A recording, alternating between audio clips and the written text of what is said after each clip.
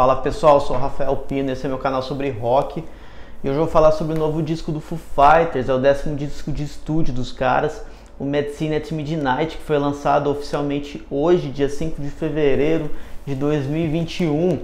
Disco que estava aí pronto há um bom tempo e os caras enrolaram, seguraram o lançamento do disco por causa da pandemia, né? Mas nada normalizou, nada voltou normal, nem os shows não voltaram e os caras tiveram que lançar mesmo.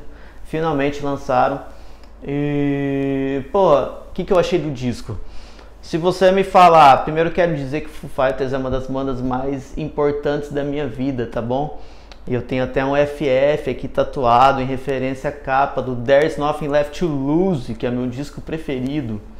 É, se você me perguntar se o, se o disco novo, Medicine, é um bom disco de rock, é sim. O Medicine é um bom disco do Foo Fighters? É sim, um bom disco do Foo Fighters, mas o Medicine at Midnight é um dos melhores discos do Foo Fighters? Não, na minha opinião não. E eu vou tentar aqui falar por quê. Bom, quem conhece mais de Foo Fighters sabe que eles têm uma fama de mudar muito pouco, né, de um, de um disco para o outro. Então muita gente, haters, xingam eles falando que ah, uma, é uma, os discos deles são tudo a mesma coisa, os caras não mudam nunca, é sempre mais do mesmo. Então, é, pô, primeiro que uma boa parte, existe um, gran, um grande grupo de bandas importantes do rock que eles têm essa característica, né, de mudar pouco. O ACDC, o Motorhead, o Slayer, o Ramones, são bandas que têm aquela fórmula clássica e eles, eles seguraram essa forma, essa essência durante a carreira inteira. Eles são grandes bandas históricas, né? Mas tem gente chata que xinga de tudo, né?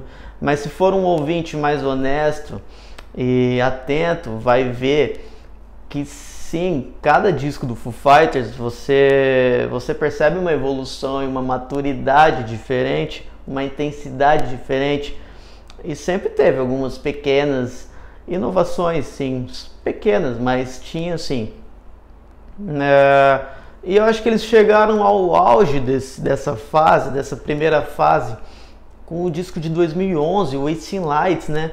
Que na minha opinião, o Wasting Lights é, nada mais é do que os caras se reuniram no estúdio e falaram: Meu, vamos fazer o melhor disco que a gente puder, com o nosso estilo, nossa essência, nossa fórmula clássica. Vamos ser só o Foo Fighters bruto aqui. E sem muita frescura, sem muita viagem, sem muita piração, só vamos fazer o nosso rock and roll, rock and roll Foo Fighters, puro, verdadeiro, sincero. E, e bom, eles geraram esse disco, Wasting Lights, que é sensacional. E eu tenho certeza que a maioria dos fãs do Foo Fighters ama esse disco e é um dos discos preferidos de todo mundo. Para mim tá no top 3 melhores discos da banda. E acontece que depois dessa fase, acho que o Dave Grohl, que também está atento com a fama que a banda dele tinha de, de pouca inovação, pensou: meu, vamos inovar. E aí que começou a treta, né?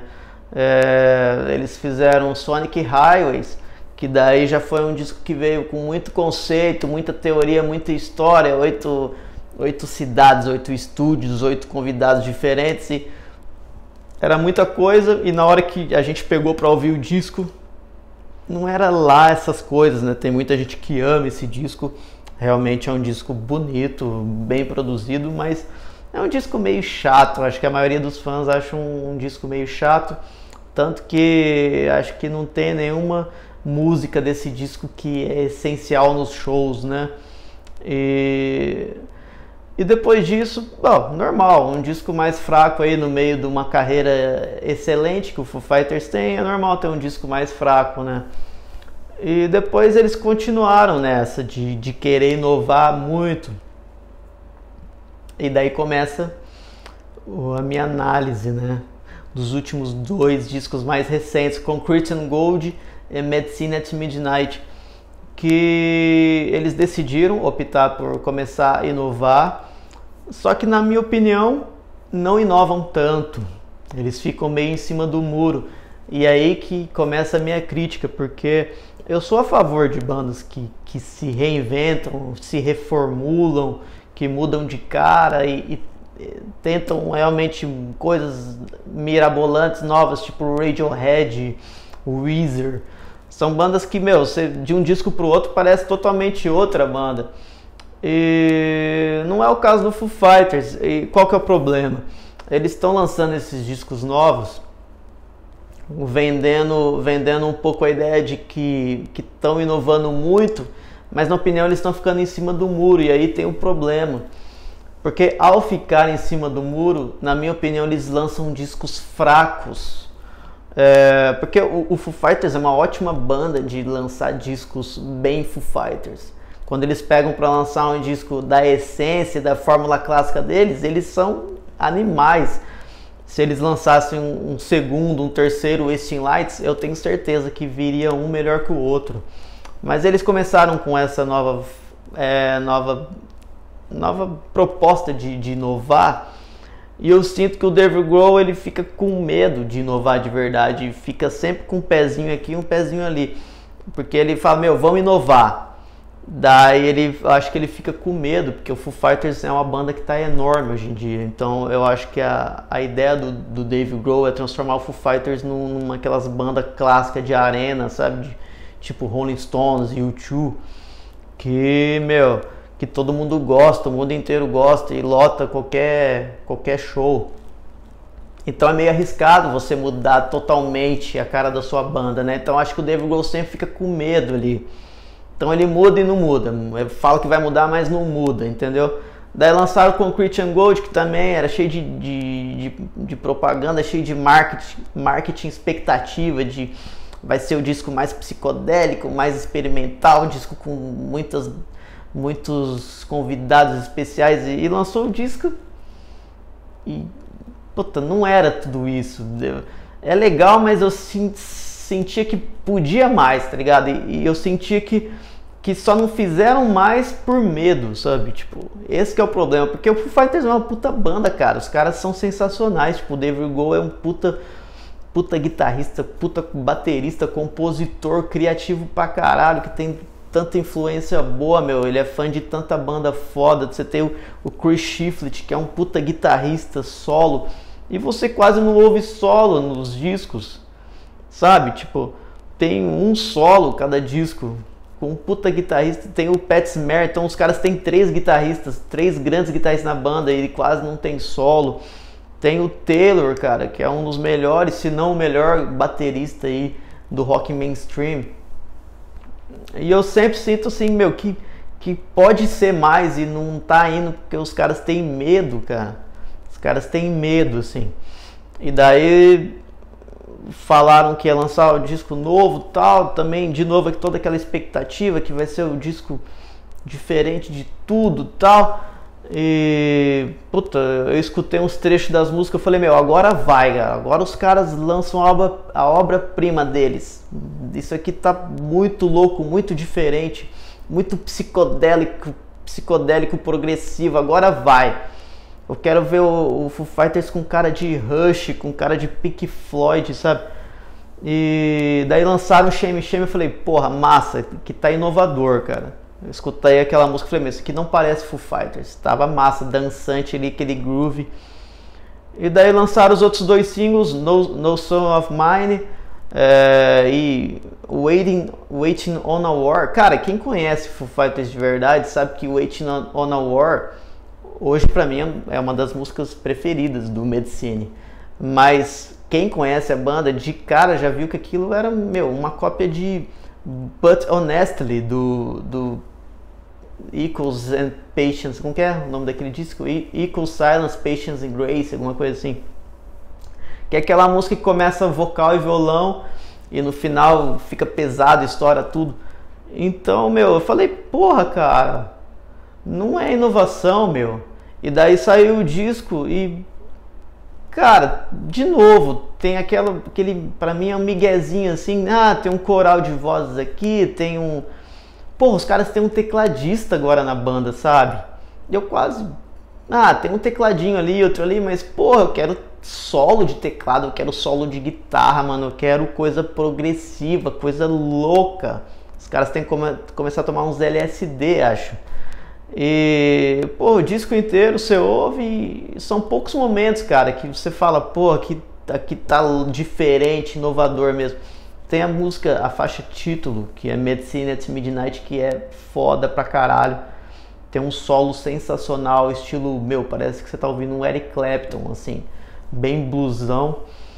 E ali tá bem, meu, um som bem charmoso, sexy, um blues mesmo, um blues rock foda ali foi inovador.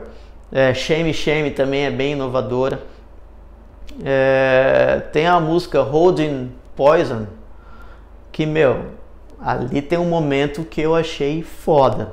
O solo dela, meu, tem um solo de guitarra e tem um tecladão moendo de fundo. É isso que eu quero, mas sabe, é pedir muito, cara. Mas você ouve o restante do disco e fala, meu, agora eu falo, meu, é mais do mesmo, cara. Por que, que vocês não estão, meu? Eu quero que vocês, sabe, coloca, fica só tirando o pé da caixinha, o pé da casinha. Não, meu, coloca o corpo inteiro, entra com a alma e tudo nessa inovação, sabe? Meu, muita gente vai me xingar, eu tenho certeza. Ah, Foo Fighters faz o que eles querem, Dave Grohl faz o que ele quiser. A proposta da banda não é essa, mas eu falo, meu, por que não, cara? Por que não, meu? Já tá na hora, meu. Lança um bagulho, meu eu quero Dark Side of the Moon do Foo Fighters. Eu quero uma ópera rock. Até o Green Day lançou uma ópera rock fodida. É, meu, o que, que o Foo Fighters tá na hora de, de meter a cara mesmo e, e, inovar sem medo, cara. Puta, ele já tem uma puta carreira, um puta trabalho foda. Não tem mais o que perder, sabe? Tipo, eu acho que tá na hora de, de pirar o cabeção mesmo e, e, criar um negócio foda mesmo, tipo, de outro mundo. Eu tô esperando, e, e na minha opinião, esses dois, três últimos discos estão muito com medo ainda. Então, se for para continuar com esse medo, meu, volta a fazer os discos, os discos clássicos do, do Foo Fighters, que para mim é mais interessante ainda. Daí eu sei que eles vão arrebentar, tá ligado? Lançar um Wasting Lights 2, Wasting Lights 3, assim eu sei que daí vai ficar foda, porque daí eles são os melhores nisso. Mas eu quero um espírito mais. Meu, se for para inovar, eu quero um espírito mais Pink Floyd para os caras. Quero um espírito mais Rush. Pô, Rush tem três integrantes.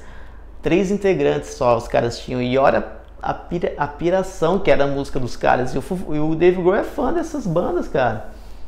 Então, assim, eu acho que os caras podem muito mais e não estão indo por causa de medo. Medo.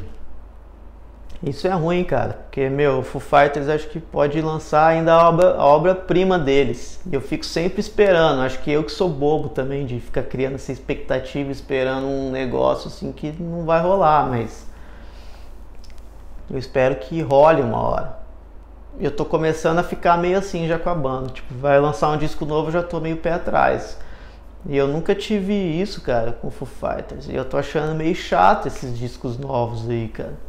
Tudo disco assim, meu, ficou a um passo de ser um grande disco, sabe? Bateu na trave. E esse ficar a um passo de ser um grande disco, isso me irrita, cara. Me irrita, porque eu vejo que não foi por frescura dos caras, meu.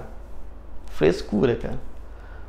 E outra coisa, meu, infelizmente vai ser o primeiro disco aí que parece que eu não vou poder comprar, porque parece que nesse novo normal não tem mais discos CDs no Brasil, não tem mais prensagem nacional e eu não vou pagar uns 200 contos nesse disco, sinto muito.